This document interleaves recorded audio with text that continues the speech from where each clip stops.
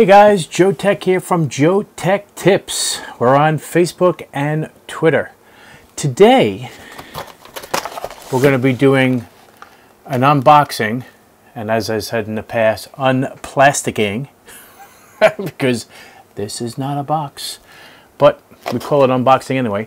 This is the Coleman 2 watt solar 12 volt maintainer. Solar how cool is this? Look at the size of this thing for two watts.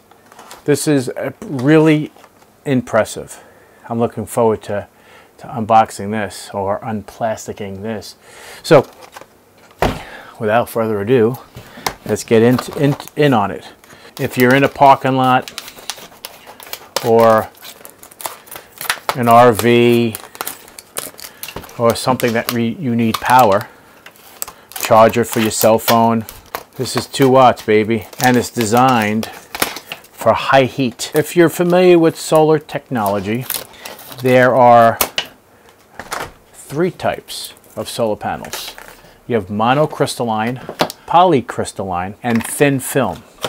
Now, thin film is this technology. The reason why they use this technology is because it can handle a lot of high heat.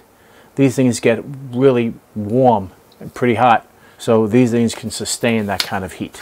So inside the box, we have the manual. We have the 2 watt panel.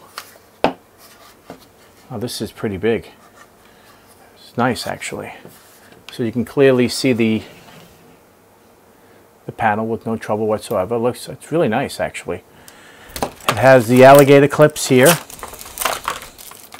and looks like suction cups as well. So suction cups are in this bag Here's the alligator clip, so if you want to go directly to your battery, you can clip them on with the alligator clips. But it uses the traditional Coleman connection, which makes it uh, technically foolproof in terms of plugging it into the device, as I've showed you in the past. Remember how you, you can't make a mistake? You have to be able to plug them in like so. And then this gets directly connected to your battery. This is this is really cool. I like this. And then you have a cigarette lighter. So if you want to plug this directly into your cigarette lighter, you can do that as well. The suction cups, there are four suction cups on here. Looks like it's very possible that you have a spare set. There are four, but it only requires two. So you, you pop it in on the side here and you slide it in.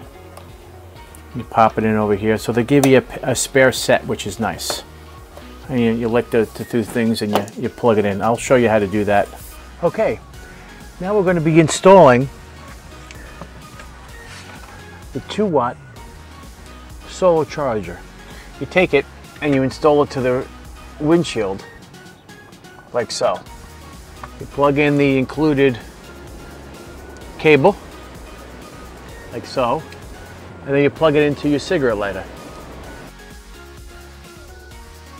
As you can see how easy it is to install this solar panel in the automobile. Two suction cups, stick it on the windshield, on the inside of the windshield, plug in the cigarette lighter plug, and you're done. Very simple and straightforward. If you like this video, give me a thumbs up, and if you're not a subscriber, please subscribe. And we'll see you next time. Thank you for watching. This is really nice. I like this.